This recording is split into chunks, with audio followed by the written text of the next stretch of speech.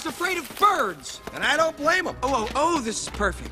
We can get rid of Hopper, and no one has to know that I messed up. You just keep pretending you're warriors. Whoa, Flik, honey. we are not about to fight grasshoppers, okay? You'll be gone before the grasshoppers ever arrive. It'll be easy. Here's what we do. Uh, not another word. I don't know what you're concocting in that little ant brain of yours, but we'll have no part of it. Excuse me?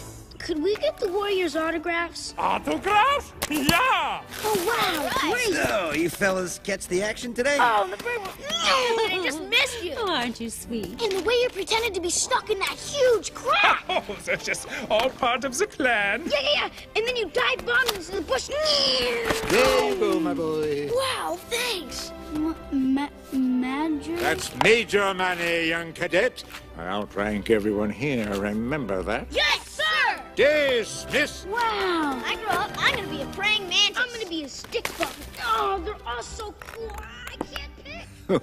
Oh, delightful lads. Uh, you were saying, Flik? All right, we are going to build a bird. A bird that we can operate from the inside, which would then be Then be hoisted, above hoisted above the anthill and hidden high in the tree.